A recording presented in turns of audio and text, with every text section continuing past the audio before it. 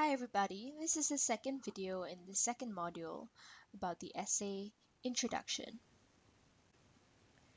So let's have a look at how our essay planning from the previous video is linked to the introduction. Basically, the first two steps, the argumentative crux and the question analysis, should be directly addressed in the introduction. As I mentioned in the previous video, these first two steps are supposed to help you better understand the question so that you can better answer it. So, as a logical extension, you want to show the examiner that you understand the question, this is how you've interpreted the question, and now we're ready to answer it. The next three points, the arguments, checking for examples, and sequencing of points, help you in crafting your thesis statement because knowing what the rest of your essay is likely to sound like is very important in helping you craft a thesis statement. So what goes in an introduction? First, a hook, if you like. It's not essential. Second, describing of the context. So what general background information does your reader need to understand to appreciate the rest of your essay? In my previous video, I mentioned that context is part of question analysis and that we don't always need to do every single possible element of the question analysis. But generally, the context um, is done in most essays, especially because it overlaps with um, the key issues, and you want to show that you understand the key issues, the backdrop against which you are writing your essay. Third, other important information from the question analysis, the assumptions, the scope, the perspectives, anything you think is important that you should be addressing, that you should be bringing up in the introduction to show that you understand the question. Number four, the argumentative crux. Show that you know what you need to prove or show to effectively argue your stand. This may not be explicitly stated in the introduction, sometimes it's embedded in the context or even in the thesis statement.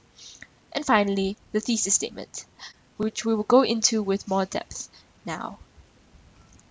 But before that, a quick note, these components need not necessarily be in order and may overlap. Although the thesis is usually most effective at the end because it's a nice lead on into the start of your essay.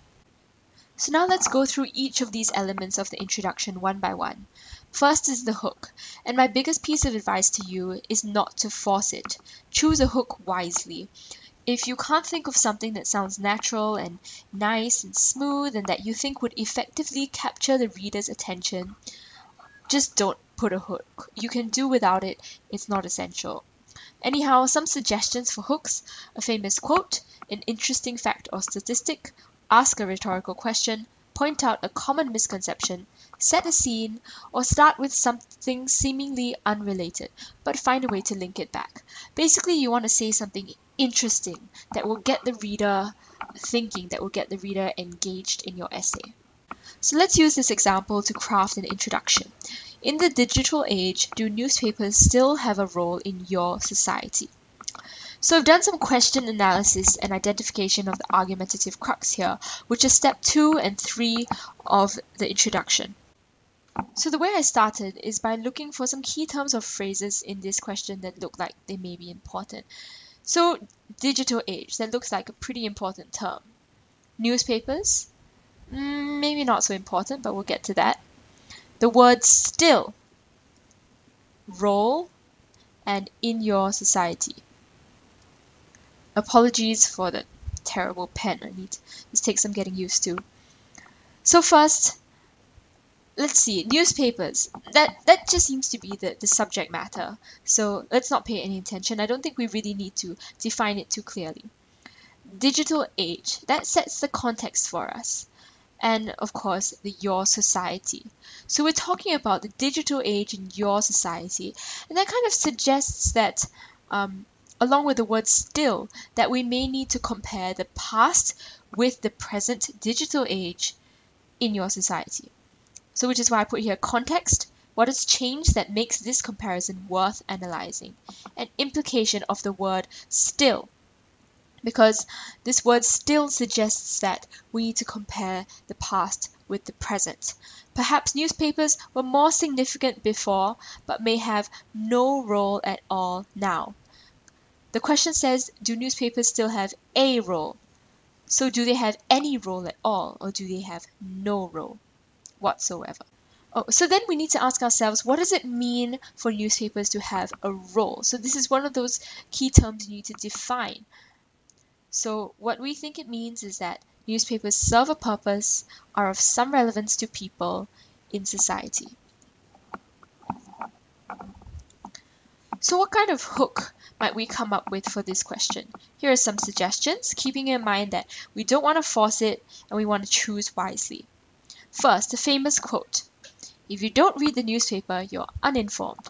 If you read the newspaper, you're misinformed. By Mark Twain. But this kind of quote would suggest that we want to talk about the uses of the newspaper to inform the masses versus the risk that the newspaper may be biased, that it may report um, inaccurate information. So, therefore, do newspapers have a role in society? Are they still useful? Next, an interesting fact or statistic. Go and find something about how less people read the newspaper now as compared to before. Or um, what I've written here is actually is sort of from personal experience when I had to do a history project and I went to the National Library um, and looked at the archives of newspapers dating back to the 1959 elections. You can read through this on your own, but basically it's an interesting fact that is trying to capture the reader's attention. Attention, sorry. Last, a rhetorical question. Do you read the newspaper? Although that's potentially a little bit lame, a little bit overused. Or compare a teenager and his grandmother. Who is more likely to regularly read the newspaper? And so you're already making a point that, you know, maybe newspapers are more relevant, more useful to the older generation, but not the younger generation. More, more suggestions point out a common misconception. When one hears the word newspaper, one tends to immediately think of huge grey sheets of paper loosely folded together. But in today's digital age, newspapers are so much more than that.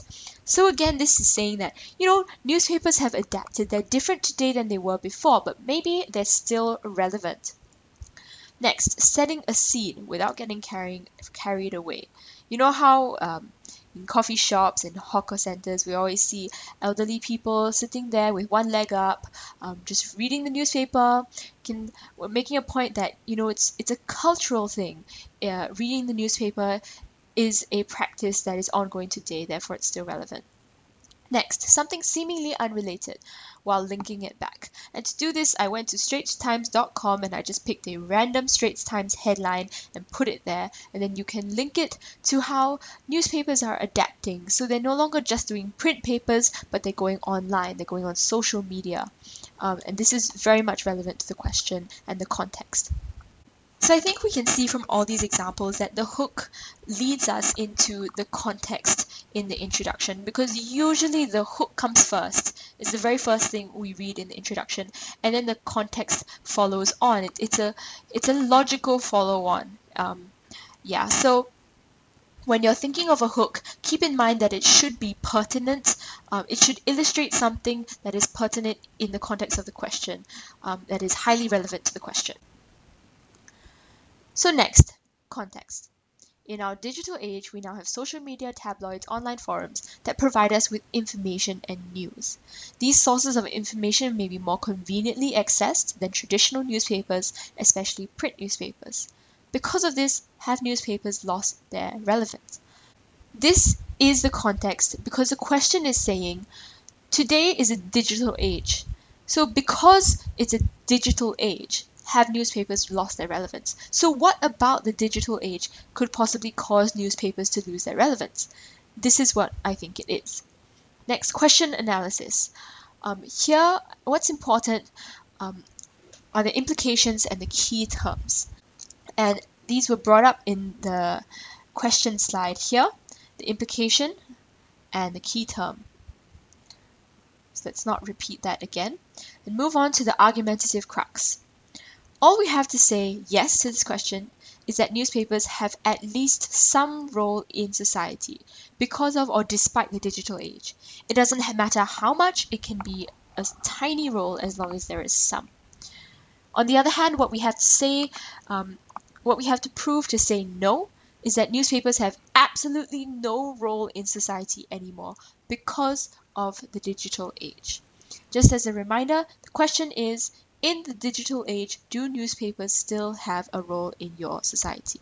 A role, any role at all.